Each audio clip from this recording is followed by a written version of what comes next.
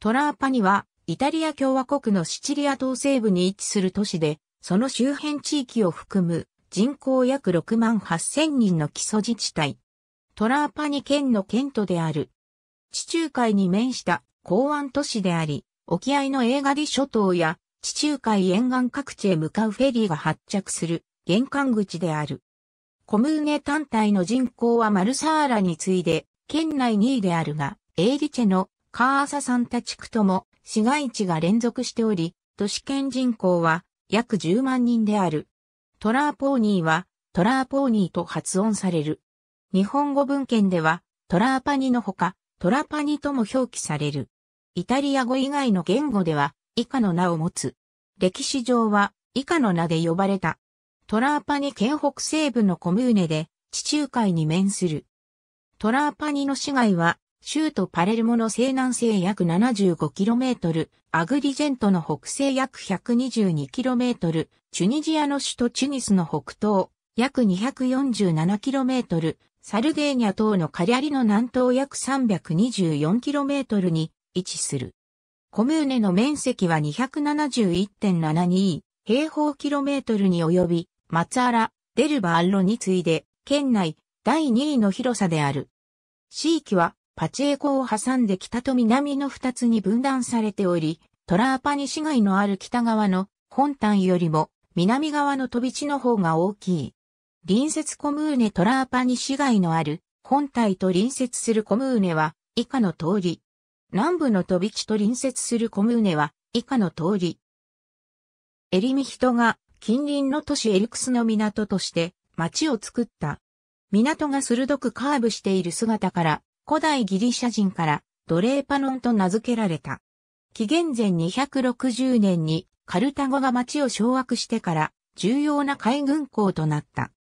第一次ポエニ戦争中、紀元前249年により、ローマ軍がこの都市に対して、工場戦を仕掛けたが、ドレパナ沖の海戦で、カルタゴ海軍は、ローマ海軍による海上封鎖を破り、戦況は膠着した。紀元前241年、アエガテス諸島沖の海戦で、ローマ海軍がカルタゴ海軍に対して勝利を収め、第一次ポエニ戦争は終結。ローマがドレパナを手に入れた。第二次世界大戦中、連合国軍の爆撃で、市は壊滅的な被害を受けた。戦後復興し、市街がサンジュリアーの山のふもとまで広がった。トラーパニには以下の分離集落がある。塩田の風車何世紀にもわたって、塩田や製塩産業が栄え、潮の道の途上にあることから、独特な文化や経済が生まれている。経済の大部分は今も海に依存している。漁業と水産品の缶詰製造は重要な地元産業である。地元の漁師たちは末端ツァと呼ばれる独特の漁法でマグロ漁を行うことが知られている。サンゴは重要な輸出品で大理石も同様である。トラパニ県は世界でも有数のワインの産地である。エイリーチェ、セチェス大石、映画ディ諸島に近いため、観光が近年伸びてきている。トラーパニからパチエコにかけて広がるシオダリゼルバナチャールアンテグラル、セイリーンディトラーポーニーペイスコは、ラムサール条約登録湿地である。プロサッカークラブ、トラーパニカルチョのホームタウンである。トラーパニカルチョは、1905年に設立されたシチリアで最も古いサッカークラブの一つで、2017から18、シーズンはセリエシーンに所属している。ホームスタジアムは隣接するエーリチェ地域のスタディオポリスポルティーボプロビンチアーレ。主要フェリー港であり、映画リ諸島のタパンテレリア島、サルデーニャ島、チュニジアへの便がある。